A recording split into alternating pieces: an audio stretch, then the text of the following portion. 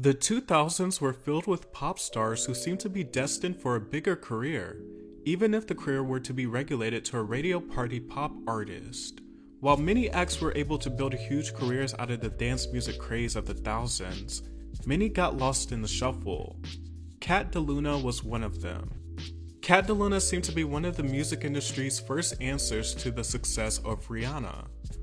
In 2007, after being signed to Epic Records, DeLuna fluttered onto the charts at the tender age of 19 with her dancehall tinged debut single, Whine Up. It was accompanied with a feature from Jamaican artist Elephant Man. Whine Up seemed to be a song engineered for radio domination for that time period, a super repetitive chorus, by the book's production with a general call to dance.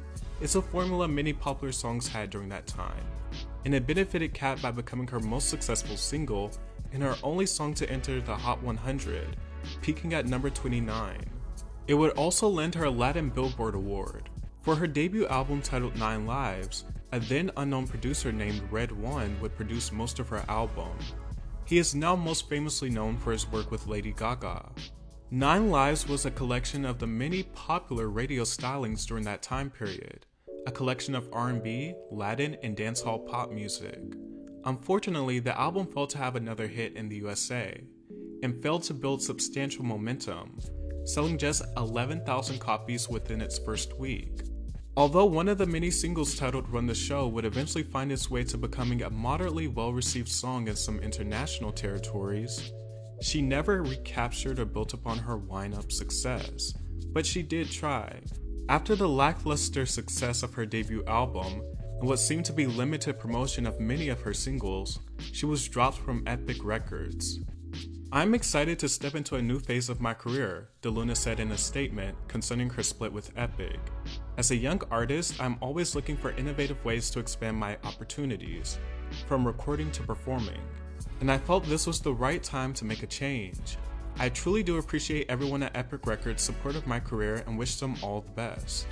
Shortly after splitting with Epic, she would quickly sign a new deal with Universal Motown in preparation for her second album. In 2008, Kat would garner some negative media attention for her performance of the Star Spangled Banner. The performance was plagued with off key singing and shaky vocals. It also didn't help that Kat forgot some of the lyrics and she was met with boos from the crowd, even landing the number one spot on Billboard's list for having the worst national anthem performance ever. Kat has since written this experience off as simply having a bad day, and admits she never should have performed. Before the release of her second album, Kat would release many buzz singles, but her single Push Push alongside Akon brought her some attention to her career once again, and her music and career success would become more international, so much so that she signed a deal with Universal Belgium. She would eventually drop the song Party O'Clock, which caused a bit of media controversy with veteran act Jennifer Lopez. Jennifer Lopez was accused of blatantly ripping off Kat DeLuna for her comeback single On the Floor. Both songs are produced and co-written by RedOne, and On the Floor just kind of sounds like a more refined reworking of Party O'Clock. They both have the general theme of partying and dancing the night away.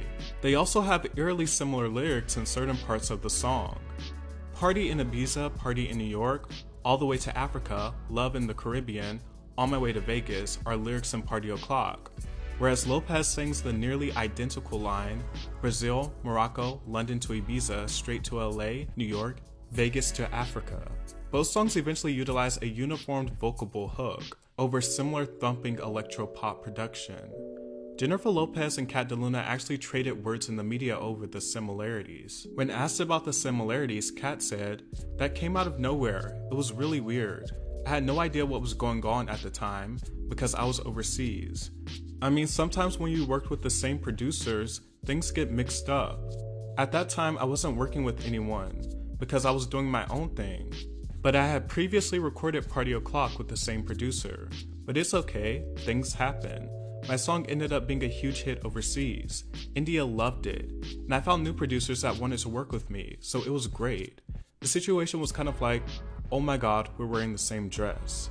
She later said, I've seen this before, where the more established artist tries to take the vision and artistic ideas away from an emerging artist and assumes no one will notice because of their bigger shadow. Luckily, my loyal fans and the power of the internet have let the cat out of the bag. Jennifer was asked about the similarities in an interview, and she said, What? Really? I'm not aware of that. Following her uncomfortable response, the reporter continued to press her, telling her that DeLuna is honored that Lopez would copy one of her songs. In response, JLo gave a forced chuckle and said, No, I didn't hear about it. However, it was alleged that Jennifer and her team specifically requested that the interviewer not ask or bring up the Kat DeLuna situation. Kat would eventually express gratitude for Jennifer down the line. Nonetheless, On the Floor became a massive hit for Jennifer, while Party O'Clock achieved some success in Belgium. Her second album, released in 2010 titled Inside Out, was only released exclusively to certain European and Asian territories, failing to cement a follow up to her debut album in the States. Kat's history with major labels appeared to be fraught, where the labels most likely didn't do the best job with handling her career. Kat would disappear from music after her second album and return with her third album Loading in 2016 which featured R&B stars Trey Songz and Jeremih. Kat has continued to release singles throughout the years, with promises of new music coming soon.